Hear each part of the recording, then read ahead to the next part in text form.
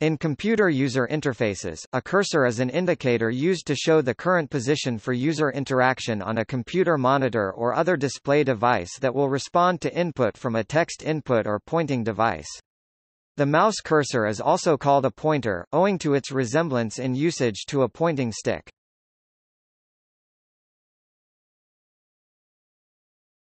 Topic. Origin of the term Cursor is Latin for runner. A cursor is the name given to the transparent slide engraved with a hairline that is used for marking a point on a slide rule.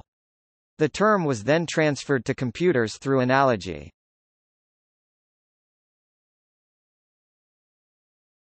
Topic: Text cursor. In most command line interfaces or text editors, the text cursor, also known as a caret, is an underscore, a solid rectangle, or a vertical line, which may be flashing or steady, indicating where text will be placed when entered the insertion point. In text mode displays, it was not possible to show a vertical bar between characters to show where the new text would be inserted, so an underscore or block cursor was used instead. In situations where a block was used, the block was usually created by inverting the pixels of the character using the Boolean math exclusive or function.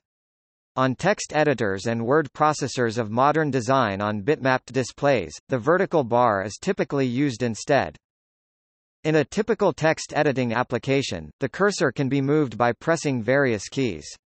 These include the four arrow keys, the page up and page down keys, the home key, the end key, and various key combinations involving a modifier key such as the control key.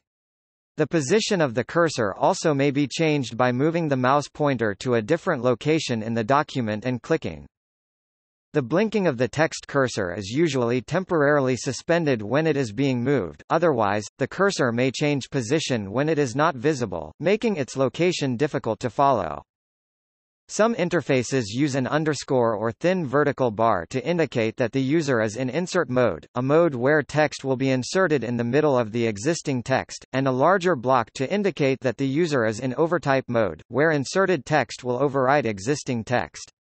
In this way, a block cursor may be seen as a piece of selected text one character wide, since typing will replace the text in the cursor with the new text. Topic: Bi-directional text.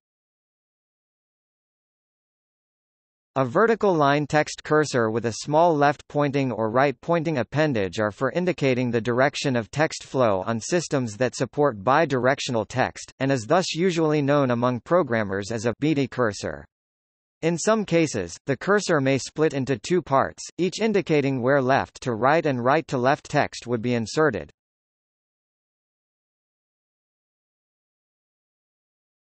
Topic: Mouse cursor. The pointer or mouse cursor echoes movements of the pointing device, commonly a mouse, touchpad or trackball. This kind of cursor is used to manipulate elements of graphical user interfaces such as menus, buttons, scrollbars or any other widget. It may be called a mouse pointer because the mouse is the dominant type of pointing device used with desktop computers.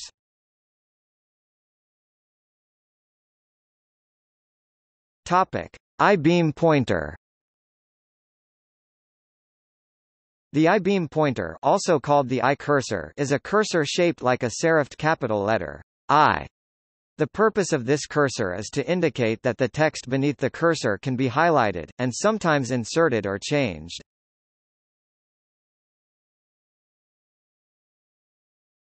Topic: 3D cursor.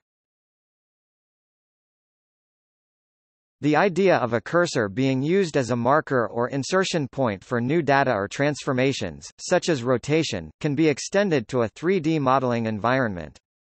Blender, for instance, uses a 3D cursor to determine where future operations are to take place.